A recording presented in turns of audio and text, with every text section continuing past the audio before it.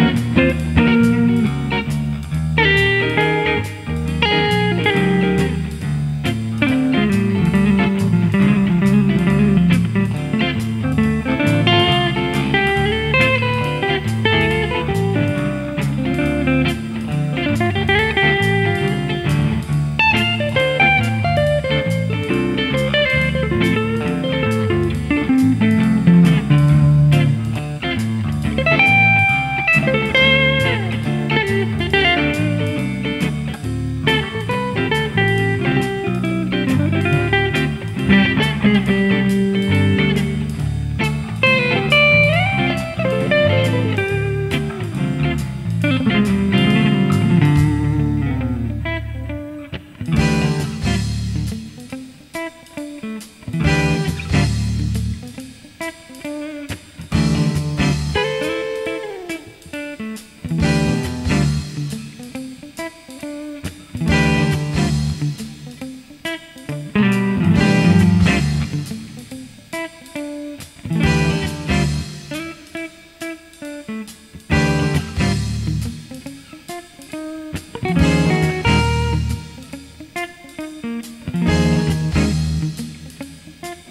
Mm-hmm.